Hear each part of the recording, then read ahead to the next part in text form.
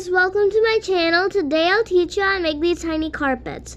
As tiny as this little one and as big as this. So I'm going to teach you how to make it and I'm going to quickly get a bracelet that's very, very similar to this. This carpet. These types. Three, two, one. It's this bracelet. Uh, a dragon scale bracelet is the exact same thing to make this little rug. I'm going to show you how to make it and how to do it.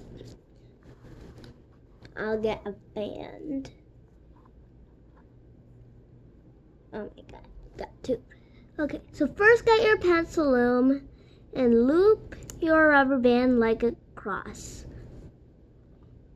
Take another rubber band, the exact same color, if you wish to do these types of patterns with one color for the flower, one color for the... Oh yeah, and this is a flower rug, because there's a flower in the middle. Flower. This one you can't see well. Oh yeah, and I forgot to tell you, if you don't do it right, you may end up making it poppy. So I'll show you the right way and the wrong way. Well, I won't show you the wrong way, but this is what'll happen if you do it in the wrong way. I mean, it is a fun fidget if you do it the wrong way.